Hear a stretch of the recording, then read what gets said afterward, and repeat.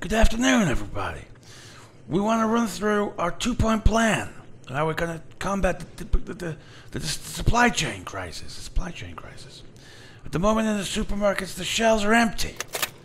90% of the shelves are empty. So our first point, make less shelves. Make less shelves. This is less shelves, you need less food to put on them. And point two, remove the shelves, the existing shelves. Take them away from the supermarkets. And then the supermarkets will be at capacity. And, uh, my boy over here, he, he knows all about supermarkets and shelves. Come on, man. Contribute. What's the matter? Is the sun getting to you?